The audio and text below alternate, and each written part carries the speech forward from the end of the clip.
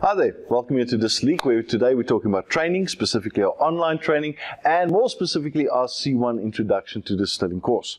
Now, C1 Introduction to Distilling, as the name implies, is a foundation level course. It's a course that uh, explains to you all the basics of distilling, uh, but not just distillation, the, the, whole distillation process, which consists out of three main steps.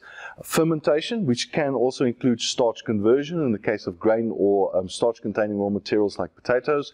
That's followed by distillation, where we actually do our distillation. We separate out the alcohol, flavor, um, and aroma compounds, um, unwanted compounds like the heads, that's covered in distillation, and then spirit enhancement. And the spirit enhancement is all those techniques um, that you need to know how to do after you've distilled the spirits. Things like dilution, airing and evaporation, infusion, mouthfeel enhancement, spirit transformation, and so on and so forth. That's all covered in spirit enhancement.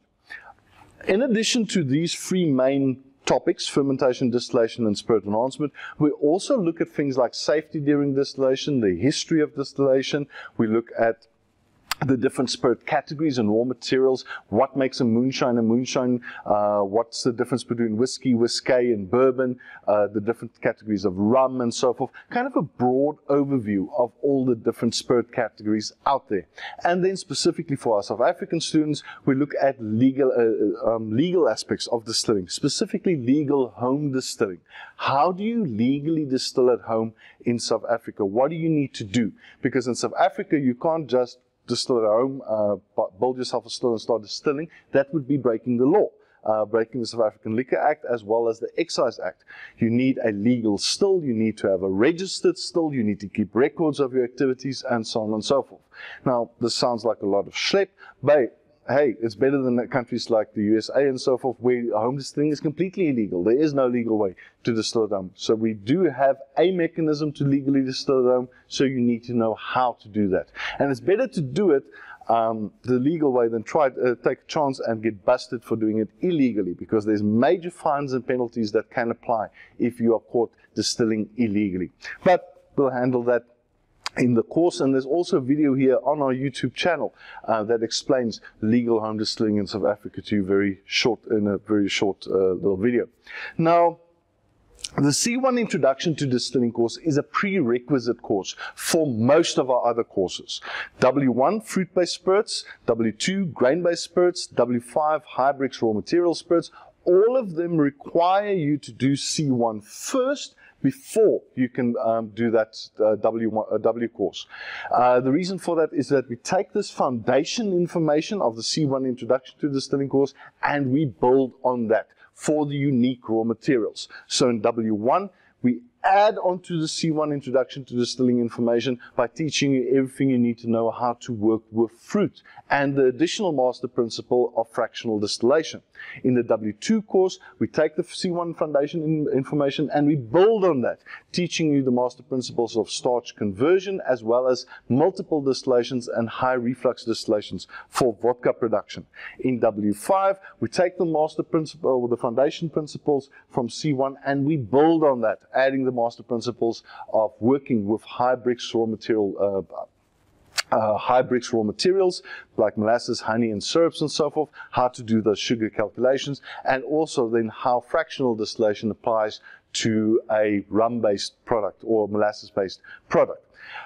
W4 is our gin course, our infused spirit course. Now, C1 is not a prerequisite for W4. You do not have to do C1 before you're allowed to do W4 because infusion, making of gin, making of spiced rum, and so forth, that infusion process, the master principles we teach in W4, has nothing to do with fermentation and distillation. It actually falls under spirit enhancement, but you don't need the information from C1 in order to understand W4. So it is not a prerequisite, but it is recommended that you do C1 before you do W4. The reason for that is just that it gives you a better understanding of the uh, terminology at the very least, but also the process and the grand scheme of things. Where does this infused spirit fall into the greater spirit world? And that's why we do recommend that you do C1 before you do W4, but again, it is not a prerequisite. In addition, our C10 comprehensive distilling course, you do not need to do C1 prior to doing C10 because C1 already forms part of the C10 course. So those are the two courses that you don't need it for. Our non-spirits related courses, W12, which is our fruit spirits course, E1, which is our essential oil course, Y1, which is our yeast foundation course, they also do not require C1 as a prerequisite. It is only our W courses, W1, W2, and W5, as well as later on when, when it comes available, W6 are um, agave spirit courses, our tequila and mezcal course. Only those courses will require and do require C1 as a prerequisite. So, I hope this makes it uh, clar clarifies it a little bit to let you know um, what to expect from the C1 course, and it is a highly recommended course. It is a very, very cost of, um, or affordable course, and you get a lot of bang for your buck, if I can put it like that. The course is about between 11 and 13 hours long. The textbook is over 400 pages. Uh, so it is a very, very comprehensive course with a lot of information that's given to you for a very, very affordable price. So hopefully we'll see you soon attending our C1 Introduction to Distilling course.